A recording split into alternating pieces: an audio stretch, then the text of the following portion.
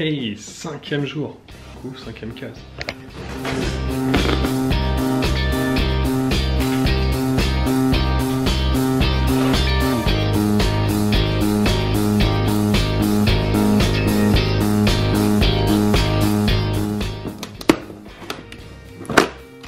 Ah. Ça, ça fait plaisir. Une grosse canette. Oh. A commencé euh, avec la punk IPA et maintenant on est sur une double punk. Alors elle est à 8,2, donc je suppose que c'est euh, une punk IPA double. hein. Voilà, un peu plus d'alcool. Je la mets au frais puis on goûte ça. Allez. fin de journée.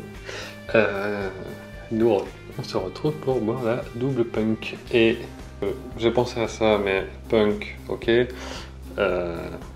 C'est pas une réponse à la, à la 8.6, puisque là on est à 8.2, hein, on est à peu près sur les mêmes plates-bandes.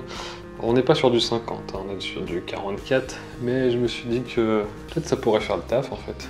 Ça doit être beaucoup plus cher par contre. Et du coup, euh, bière de punk, verre de, de festival.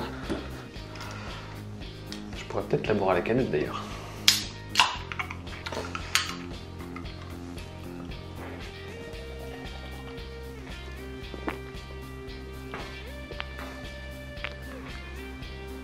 Ouais, ça tabasse le houblon, c'est bien ça. La bonne grosse mousse. On sent bon le dry hop, très, euh, très épaisse. Pardon, vous êtes un peu bas.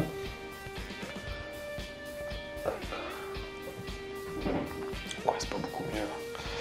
Mon trépied est cassé, j'ai cassé mon trépied. Abonnez-vous et puis envoyez des sous, hein. Euh, Alors évidemment,